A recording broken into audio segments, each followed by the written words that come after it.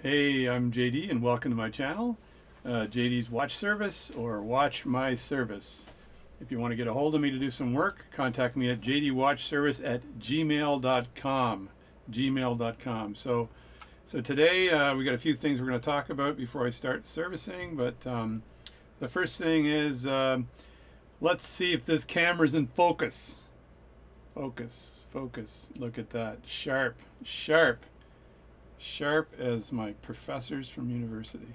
So, so this little watch here is a size six. Um, it is a Waltham. It's a beautiful little Waltham that I've got to work on today, and I'm working on this watch for a gentleman named Luke. Actually, he just sent me an email this morning and said, said probably with a French accent, he said, "Hey JD, uh, is any chance uh, you're going to do the rest of the watch today, or am I going to have to work, wait till another five years for this watch to be finished? Uh, I do not know. I'd like to know. So anyway, I've been communicating back and forth with Luke. That's my French accent. I'm allowed doing a French accent because I was born in France. So, and I'm half French, so I'm allowed doing it, Luke. So please don't take it to heart. But, but I can order breakfast in French too. I'd love.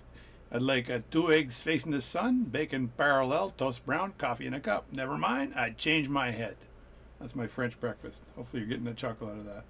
So um, this uh, watch, uh, size 6 Waltham, needed a new balance staff and I got received my uh, my balance staff for this yesterday from Dave's Watch Parts. I know I'm plugging him all the time and hopefully he'll give me a better deal, but his deals are actually excellent, so there's no problem there at all. And actually, I've, I basically ordered the wrong one, I think, the first time, not giving him all the dimensions. And so the first one didn't work, so I got the second one in the mail, and here it is here for an S6. That's it there, so we'll be fitting that today. Um, I have a little card here that I made up for the dimensions. I basically made this card up, and then I sent him a photo of the card. So that's just some advice for if you want to get a, a balance staff from any supplier. Do this, send the card like this, and then send him a photo with the email so there's no discussion as to the size of the balance staff. Of course, you're doing a little bit of an estimate on the on the uh, length of it at 4.46 because you've got usually a broken pivot on one side, and uh, you're not really sure the absolute length, but the, the pivot on one side is broken is probably the same size as the pivot that was on the other side. And usually the pivot uh, diameters, I got 0.12 as a diameter here. I need my pointing tweezers today. So that pivot diameter is usually the same on both sides too, unless, unless, and it's happened, a watch a watchmaker had replaced the uh, upper or lower uh, jewel and or setting with a jewel, and you've ended up with a with a pivot that's a different size because they made a balance staff or something and changed it. So I run into modifications I wasn't expecting. I don't know why this is working this way. Blah blah blah. So so it's always good. And all, when you start, just before you start working on a watch, if it's uh, running at all, take a video of it running so you can see what uh, or, or test it to see what the amplitude is so you can see where the, where the improvement has been. Um, and so that's a good idea. Also demagnetize it. And just a note on demagnetizing, I've tried all kinds of different ways of demagnetizing. I'm going to reach over here, right over here. I'm going to hide behind my own diagram here. And I'm going to grab a demagnetizer. I'm going to grab the old vintage one for the heck of it, right? So this guy here, um, it's it still has a tag on it, so it's for sale. No, so this this guy here, I glued the back back on with instructions. So the instructions basically tell you how not to get electrocuted with this thing. So, and there's all kinds of instructions. But what you do, you plug it in, and there's the, oh my God, I'm going to get electrocuted button. This is very sketchy because this thing is probably from the 30s. Um, and when you take your watch movement, I'll just take a an old pocket watch here that's, I got this old pocket watch, not worth much. Um, it's like a dollar watch, but I think it's European. But anyway, so you take this, and I found that if you put it right into the center and then pull it out, it doesn't work as well. It actually doesn't work demagnetizing the watch and the hairspring as well as if you put it close here, not inside, but close like that. Press the button on this side here just to energize it, energize the coils, and then leave it there for about three seconds and then pull out slowly and you can go around one or two feet away, right? And that actually works, and it works really well with uh, with uh, you know tweezer, not tweet. Well, if you get steel tweezers, but uh, uh, screwdriver blades and stuff like that. Eh? So that's how you demagnetize it properly. I've tried all kinds of things, and when you have one of those uh, those uh, made in Japan or made in China demagnetizers like this one here. I got a bunch of demagnetizers. I found that in this for this one here, actually, if you put it straight down and press the button, it doesn't work as well as if you hold it sideways, like this, sort of in the center. Press the button and then pull it up sideways. This seemed to be the best way of demagnetizing uh, uh, a pocket, a watch or a pocket watch. Okay, you may have other experiences, uh, and you can write me about that. So um, that's great. So that's a little bit on demagnetizing. So before you start stripping a watch down and do the work on it, demagnetize it first and then do the work. Take a video of the watch.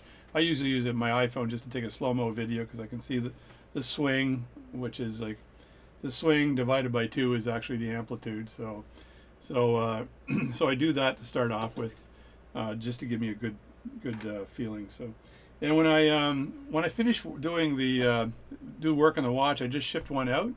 So um, I just shipped one out to uh, to Robert. I use first names only, and I made sure I put I bought a roll of these stickers, the old Fraggle stickers, Fraggle Rock. Okay, Doozers and Fraggles. Doozers did all the work, and Fraggles ate all the construction stuff. So anyway, the old fragile stickers. So the, you can buy a roll of these off Amazon for like 10 bucks or 15 bucks and they'll last forever.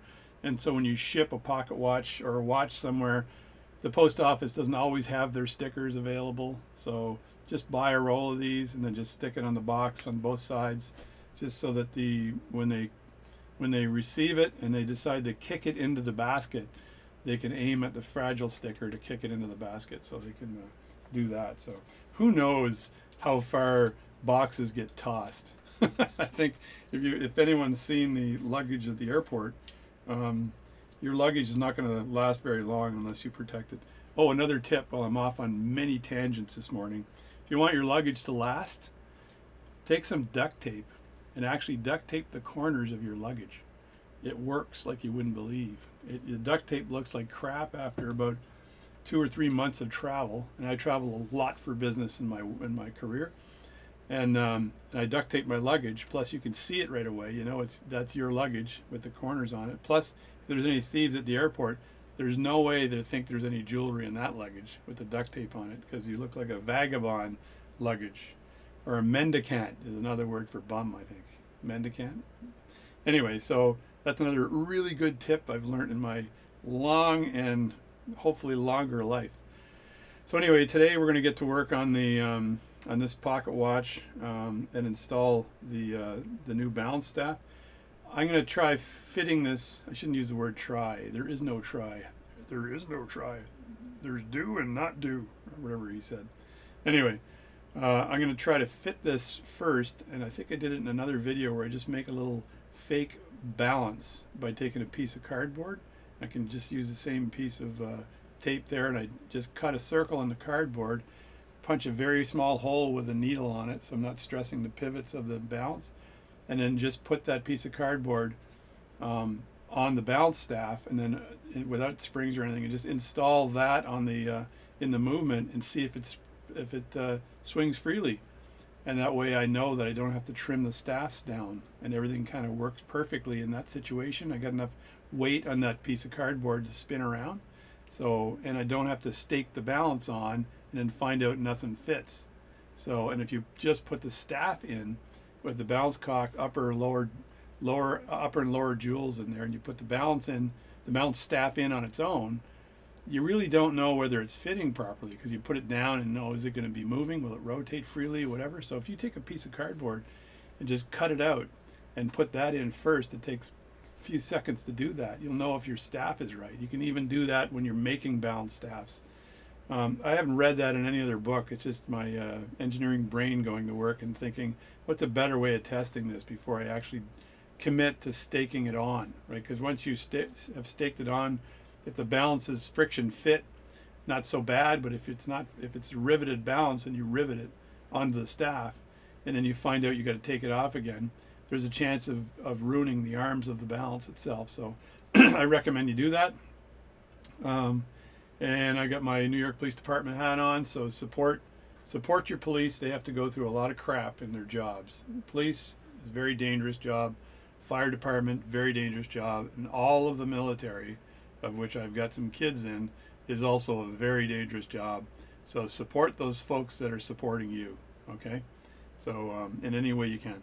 So just like to say that. So as well, um, thanks for watching my videos. I, I, know I blab on and on, um, and thanks for the comments. And I've uh, there were some very very funny comments on who lights the torches in those caves. Um, they gave me names of people. Uh, the guy that did the Bourne Identity, I suppose when he's off not acting, he lights the torches in caves. This is what I was told by somebody. Um, so the comments were actually really funny. So, so if you've got any further comments, I don't know if I have another question like that. Uh, uh, let me see. Why is a mouse when it's spinning? Because of the higher it goes, the fewer. I think someone told me that uh, once. Not sure what it means, but uh, is white a color? Uh, oh, I know. Only fish with really, really good posture have the chance of becoming fish sticks. I'll wait while you're laughing. The second one I have is same type of humor. Let me focus this. How did this get out of focus all of a sudden? Did I whack it? I think the uh, pumpkin is the only animal known to man that has got triangular eyes. That's a little known fact. A little known fact. So, anyway, uh, I think that might be enough blabbing away. Uh, so I'm going to uh, prop this up. I got to get my staking stuff out, but first I'm going to see if I can cut out a little circle and put the balance in there. So the new, as I said, the new balance staff looks like this. And I'll just cut a little circle out, make a pinhole with a needle. I usually have one of my pin vices. I have many pin vices, but I usually take one pin vise and leave a needle in there because you're often needed need to do that.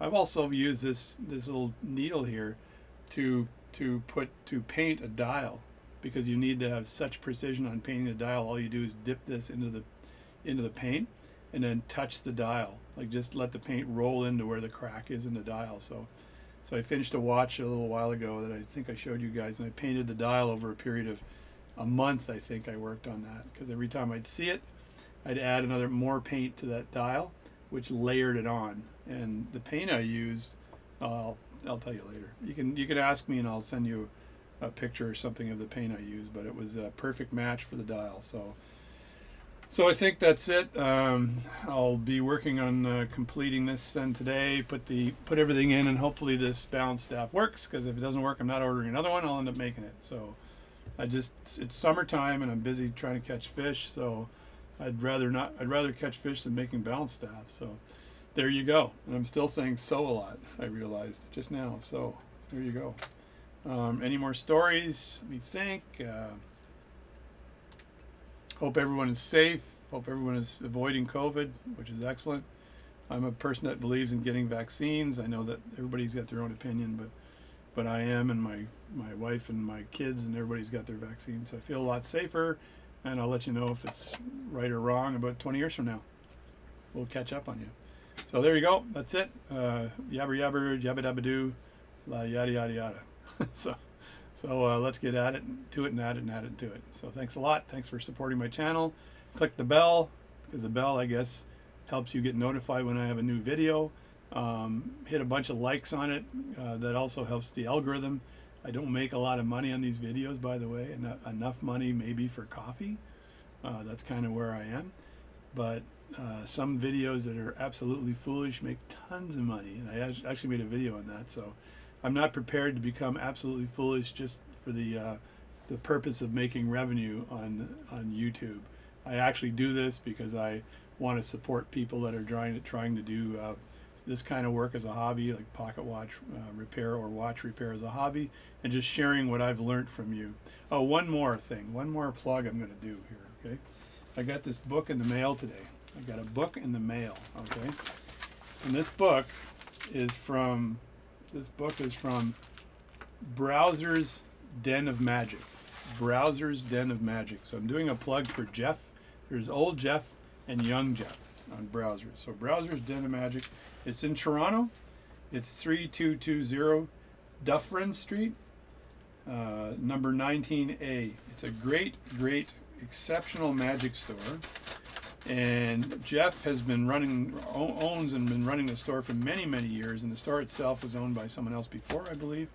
And he supports the annual magic convention that's got 400 magicians worldwide at this place, right? That, that come to Toronto for the, uh, the magic convention. And the magicians are Shin Lim was there, the guy that won um, I think it was X Factor or America's Got Talent. I think it was X Factor he won. And he sat next to me. Let me see. There's a nice fan out, eh? He sat next to me in the show the year before he won. And it was pretty neat to find out that he, he won the million dollar prize. Me see if I can make this disappear. Whoa, where is it? Where is it? anyway, so Jeff uh, sets his show up every year um, it doesn't cost a lot to buy a ticket, and his magic store has been su- supporting the magic community forever. I'm an amateur magician as well, um, and I've been doing it ever since I was a kid. And I bought a book from him the other day, which is uh, pretty cool. And he actually sent me a DVD too, free. what the heck? This is really nice of him. Oh my God! So there's the book. As a S C A N I O, Ascanio. So this this is the book I bought from him.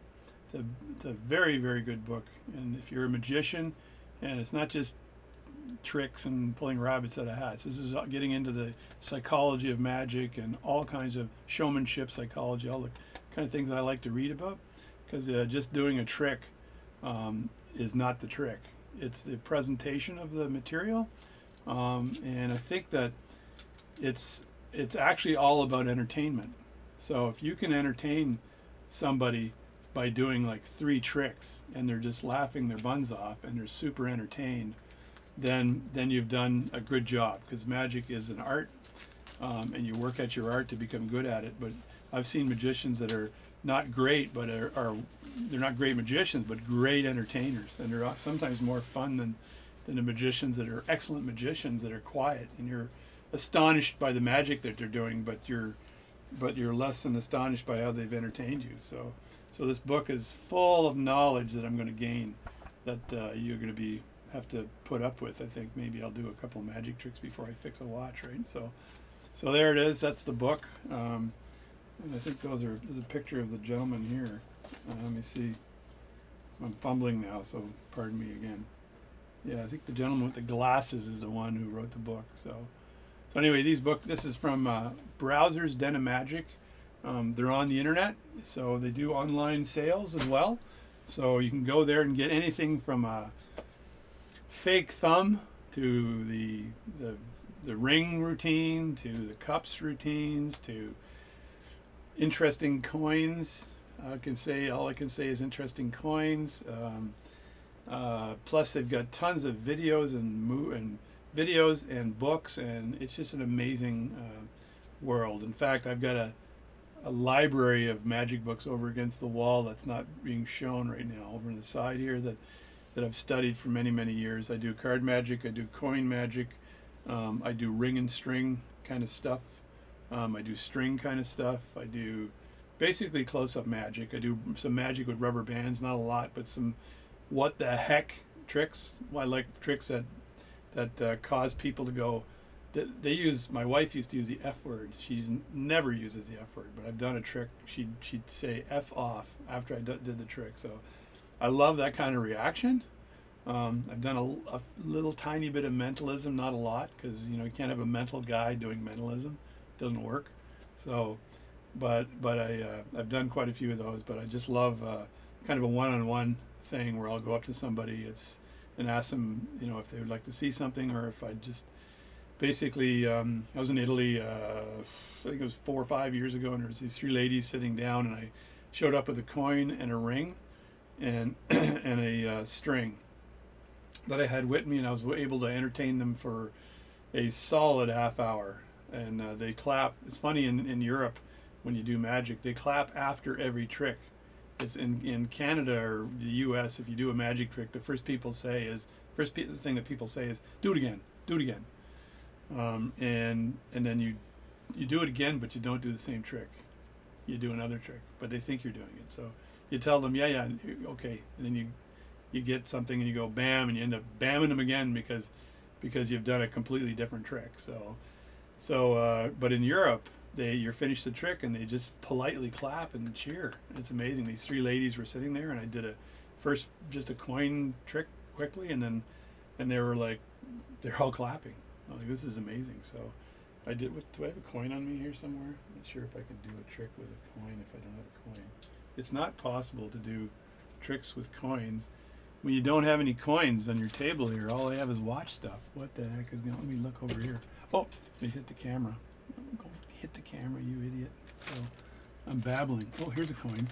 I don't know if I can do a coin trick on camera here successfully. So I did this trick here where you take you take a coin like this and then you go like that and then you go like that and the coin comes back. So I think that worked. I'm not sure if it worked or not. Anyway, that is a coin trick and this is me rolling a coin down my hand. And you have to learn how to do it in both hands because one hand gets lazy. So you do it with both hands and that way you can roll the coin down to the end and pick it up with the other hand and keep rolling it. So so the cans don't get lazy. So that's that was a quick coin trick and if you look at it quickly all I did was do this and then I did this and the coin came back amazing amazing anyway it's uh, more than entertaining but uh, Jeff gave me a he said free free he gave me a free DVD which I'm impressed with and it's called Digital Graffiti Sleight of Hand of David Peck Digital Graffiti Sleight of Hand of David Peck, and it's endorsed by Jay Sankey, who's a Toronto uh, magician that's a professional magician. I'm an amateur at all this stuff, so um, I'm a professional engineer who does stuff, but I'm an amateur at everything else. So this is very nice of Jeff. So I'd like to personally thank Jeff at Browser's Den of Magic. Um, pass that along to your your friends. Um, if you've got kids out there, magic is an excellent hobby for kids. Excellent hobby. Just basic card magic, like I showed you earlier. All you're doing is you buy them a deck of cards, and you buy. And Jeff's got all this stuff, but you can buy a, a you know, just a basic deck of Bee cards, or or bicycle cards, and and with the with a deck of cards, they can entertain themselves endlessly. People like Shin Lim and those guys that are pretty famous, David Blaine, all those folks, they've usually had an issue in their life where they had to focus on something. Like I know there's one magician that was in the hospital for for um, some ailment he had for six months, and he had nothing to do, and someone gave him a deck of cards, and and expert at the card table is the is the is the um, book you want to buy if you want to start off figuring out how to cheat at cards or how to do card sleights and stuff. It's not a magician's book; it's actually a gambler's book. But a lot of magicians use the sleights that are in the book, and if you want to learn how to take a deck here. Let me see if I can do this. And cut it with one hand like that. Oh, that was so good. That was so good. That was amazing. And if you want to learn how to spread the deck like this, I just should basically have the um, have the other camera pointing at this stuff. And I, I even I can't do this. This is probably not doable with my like this. I, but I'm able to actually take this deck with one hand and shuffle it together. Oh man, I can't do it. I can't do it. Oh, yes, I can. There it is. Put that together like that, and then just get rid of that because it makes me amateurish. And then the cards all shuffle together. See, look at that. So that's oh, the hands way up here. You don't want to do work with your hands way up here. Your, your old man will tell you that when you're a kid, he slap you in the back of the head and stop doing work with your hands way up there. You got to be comfortable. Anyway, so a deck of cards, you give it to your kids. You buy them you buy them the book. Go to Browser's Den of Magic. You got millions of card books and coin books and magic books and illusions and all kinds of stuff and props and it's a really cool. It's a plug for Jeff, but he does a great job. Um, he, he's a really nice guy. Every time I've gone into the shop, um, I've gone in there with my wife, who like who actually likes magic as well. And I asked Jeff to sh- show my wife a trick or something, and she and she goes up to the counter. I do too, of course, and and then, and then uh, he does something that just wows us because he's a very good magician as well. So, so I, I love going to Toronto to visit Browser's Den of Magic, and I'll probably end up doing that again because it's summer and they're probably open, and I haven't been there since co- the COVID, the diabetes, since the COVID took over and caused us all to become hermits, you know, live in our homes and come out for milk and then go back in. So anyway, that's a plug for Jeff, um, but he deserves it. Uh, and he gave me a book. I bought a book off him. Uh, I support the shop, make that shop run forever. There's not a very many magic magic shops left. Kids love magic. Uh, this will keep your kids busy as you like you wouldn't believe once they get very interested because you if you your kids have a curiosity at all and they start looking at magic tricks and go down that rat hole of magic um, they will be entertaining themselves forever. And it's much better than sitting in front of a tv and just watch and letting the tv entertain you or playing a video game and letting the video game entertain you. You need to learn things so that you can entertain so it's a much better approach to life as well. So plus, if you ever get nailed for for grand theft and you end up in jail, the FBI's arrested you, and you got nothing to do, just say, "Hey, buddy, can you throw me a deck of cards?" And then they'll go, "Bam!" They'll give you a deck of cards, and you'll be popular in the big house. Popular in the big house. You'll have the biggest uh, place to live and everything. So it's good for that too. So instead of throwing a rubber ball against the wall, that kind that's stupid. Who who does that? First of all, who's giving this guy a rubber ball? Because he could probably. I need names of why is every prison? Why is there always a rubber ball in the cell of of you know when you when the guy's in prison? He's got a rubber ball. There's never a deck of cards, or he doesn't have any good books. He always just has a rubber ball, a steel bed, and a shitty mattress. So where does that rubber ball come from? That's my next question. If you could answer that, please. Where does a rubber ball come from? And um, and that's good. So anyway, have fun watching the Olympics this uh, next couple of weeks. Uh, I think the athletes have gotten a raw deal. Uh, they're amazing, and I know how hard athletes work. When I was younger, I was a bit of an athlete. Always had dreams of becoming an Olympic runner, um, but you know I couldn't catch up with that dream. So, and uh, you know I had I had uh, only I only have one leg. So, well actually I've got two. I got one on each side. So I guess that's two legs. Eh? So. But anyway, so so, so uh, support support the Olympics too. So it's funny. I just moved. I moved forward. My camera couldn't deal with it, so it just stalled for a second. So I think the camera is unionized. Anyway, I've been chap chatting way too long. I'm gonna start work on this watch, but I'm gonna put this video up first uh, because I don't want the video to be four hours and three seconds, seven seconds long. Because you guys will all say, "Why did you make the video so darn so darn long?" So I'm going to fit up this little piece of cardboard and see if this thing fits and I'll uh, record some of that too and then see if the balance staff is the right staff and then we'll get to fitting this balance staff this afternoon. Thanks for watching. Please subscribe to my channel. Um, I think I'm frozen again. Nope, nope, we're back. I was frozen for a millisecond. Thanks for subscribing to my channel and tell your friends about it. Support Browsers Den of Magic in Toronto. Look it up on the internet, the interweb. Browser's Den of Magic. And say hi to Jeff for me. And uh, take care. Bye.